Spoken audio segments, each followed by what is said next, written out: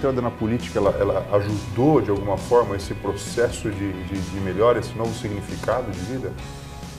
Bom, eu, eu não sou, eu não sou, eu não me, eu não me considero político.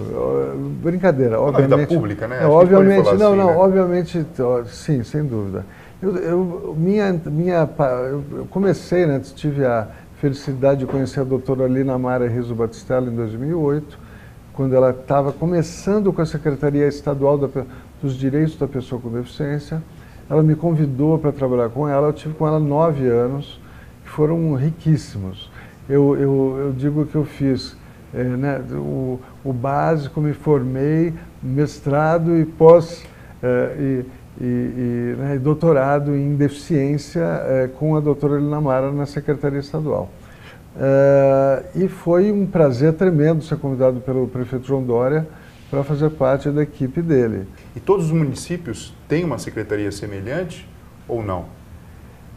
É, não. É, no, no, Brasil, é, poucos. Em São Paulo, a gente tem cerca de 30, 40 municípios de 655 municípios no estado que têm secretarias.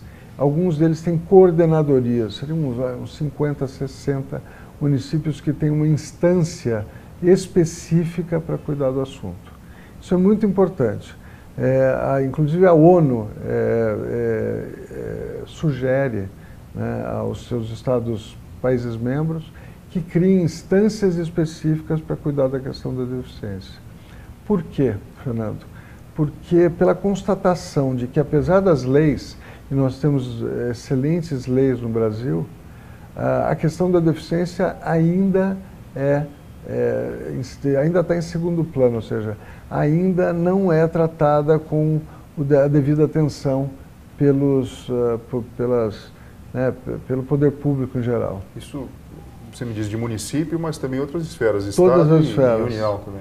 É a constatação de que é o segmento talvez é, mais é, vulnerável da sociedade, principalmente quando cruza com a pobreza, com a miséria. Esse cruzamento cria talvez as maiores vulnerabilidades em termos sociais. Então essa é a importância de ter ainda hoje é, uma secretaria como essa.